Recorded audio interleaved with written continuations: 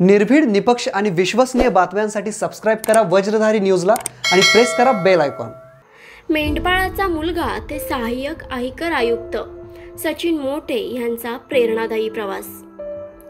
कायमच दुष्काळी तालुका असलेल्या आटपाडी तालुक्यातील विभूतवाडीचे सहाय्यक आयकर आयुक्त सचिन मोटे यांचा प्रवास थक्क करणार आहे.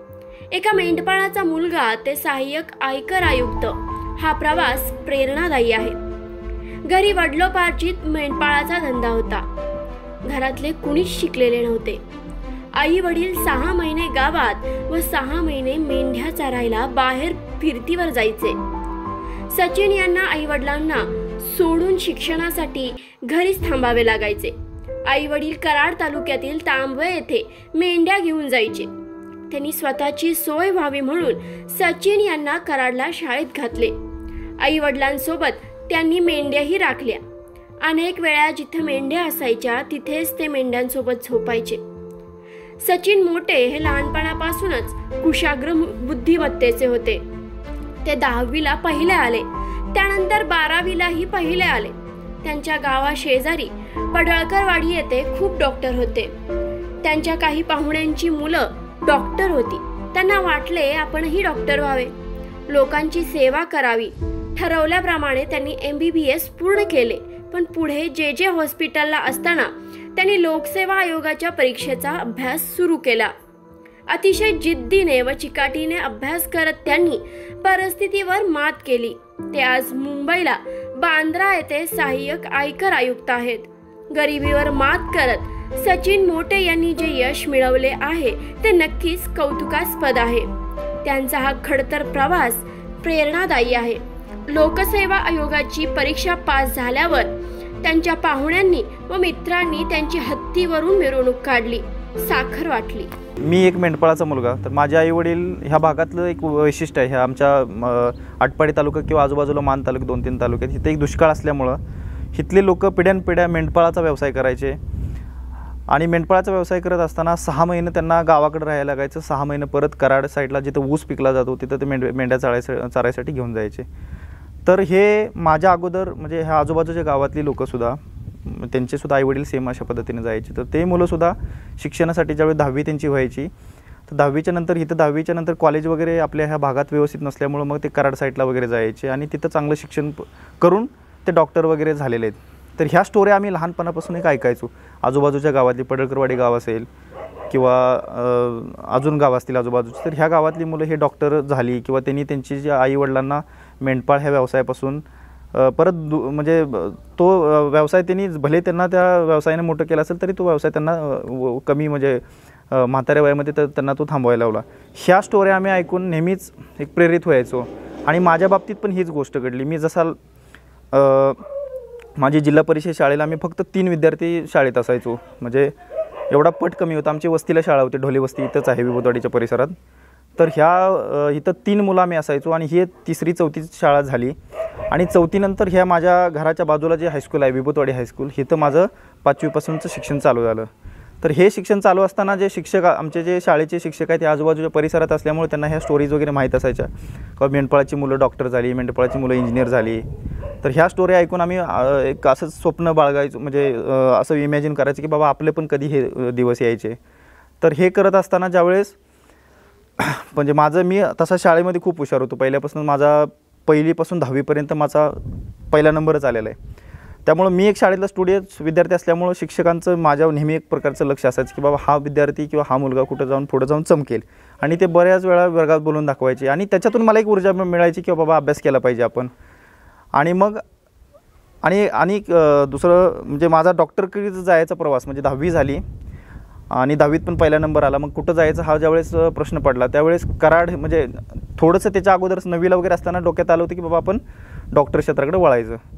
मग दहावीच्या नंतर ह्या ज्या परीक्षा होत्या त्यावेळेस आमच्या वेळेस सी ई टीची परीक्षा असायची. तर सी ई टीच्या परीक्षाचं चांगलं शिक्षण किंवा अकरा बारावीला चांगलं शिक्षण कुठं भेटतं? तर कराड साईडला आणि दुसरा एक ॲडेड फॅक्टर होता मी कराड साईडला ॲडमिशन इथलं दहावी झाल्यानंतर जायचं की माझे आईवडील सहा महिने मेंढर घेऊन कराडच्या एक पश्चिमेला तांबेव गावात असायचे. तर त्यांचं म्हणणं असायचं की त्यावेळी बँकिंग चॅनेल तेवढे स्ट्रॉंग नव्हते किंवा मोबाईल वगैरे नव्हते. मग ते डायरेक्ट मला भेटायला यायचे पैसे घेऊन किंवा हे पैसे घे आणि ह्याच्यावर तुझा उदरनिर्वाह दोन चार महिन्याचा चालू आहे तर असं त्याच्यामुळं हे कराड मी चूज केलं. आणि खरं त्या कराडच्या भूमीने म्हणजे मी नेहमी मानत असतो की कराड ही माझी कर्मभूमी आहे. तर तिथं आम्ही म्हणजे कर्मभूमी ह्या नात्याने की मला माझं शिक्षण पण चांगल्या पद्धतीनं झालं. आणि आईवडिलांचं आमचा जो संस्था हे होतं घर कुटुंब आम्हाला तिथूनच पैसे आमचे जे मेंढरं चर चरायची किंवा मोठी व्हायची त्याचा विक्रीचा पैसा आम्हाला तिथूनच भेटायचा.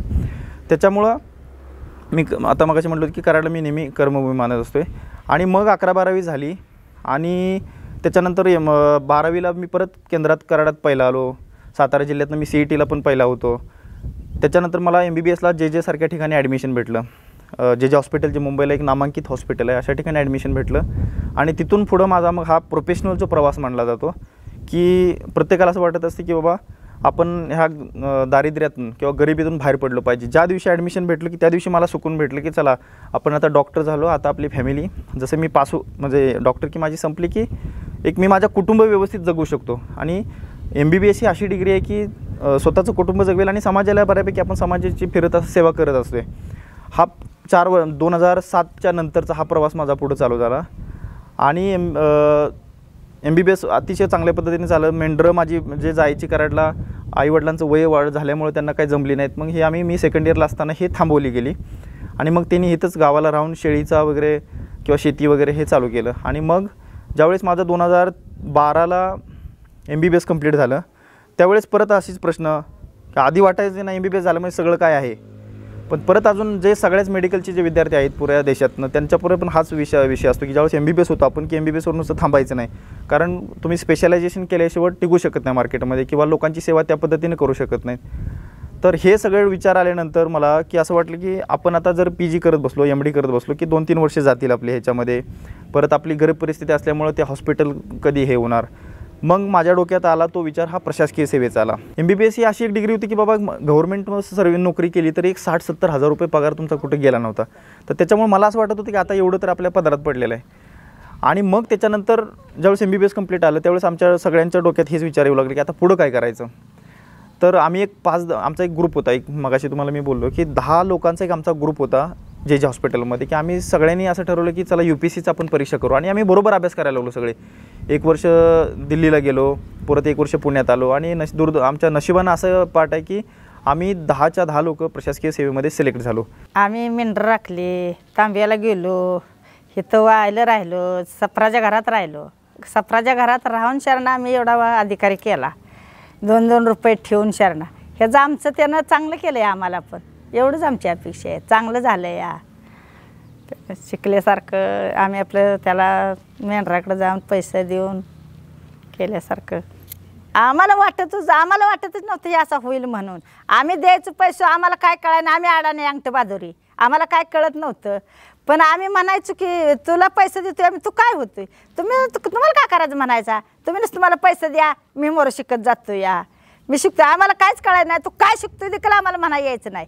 तांब्याची माणसं आम्हाला विचारायची सचिन काय शिकतो या? आम्ही म्हणायचो आम्हालाच काय कळत नाही काय शिकतोय ती. आम्ही तिकडे राहिले त्यामुळे आम्हाला काहीच कळत नाही. असलं मैदानात राहायचो आडरानात ह्याच्यात काय कळतंय आम्हाला? आम्ही आडानीच होतो असताना.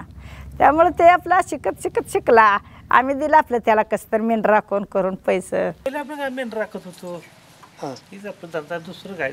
रोजगार करायचा खायचं मेंढ रोजगार राखायचं काय करायचं. जेवढंच आम्हाला होतं. आम्हाला बाकी काय होतं? केली मेंढर राखली सगळं बैला धंदा केला शेती केली. मोठा आहे तर सारे आहेत भाव छोटे छोटे होते. दोघ जण भाव आहेत पण सगळं छोटा केलं आहे की. आता झाली जे ते आपली करून खायला. पहिल्यापासून कराडा केलं. कराड? पालं केलं ओढलं. बागाला रोजगार आहे आम्ही कामं केलेली पहिले आपले सगळे रोजगार आम्ही कामं केली. बर. आम्हाला पहिलं अन्न नव्हतं खायला. आम्ही कसं कसं दिवस काढले ते आम्हाला माहिती झालं. म्हणताना आम्हाला दिवस आले तो आता आय आय टी जेई नीटसाठी लातूर हैदराबाद आणि कोटा इथं जाण्याची गरज नाही. Welcome to Shivpratap academy Vita इथल्या Shivpratap medical and I I T academy मध्ये कोटा व हैदराबाद इथला उच्च विद्या विभूषित शिक्षक वृंद विद्यार्थ्यांच्या सेवेसाठी सदैव तत्पर. The student of Shiv Pratap Academy Vita. Decision determine our destiny. I always want academy that would prepare me for life itself. Choosing Shiv Pratap Academy was the best decision. Shivpratap अकॅडमीमुळे मी यशस्वी झालो तुम्ही सुद्धा यशस्वी व्हा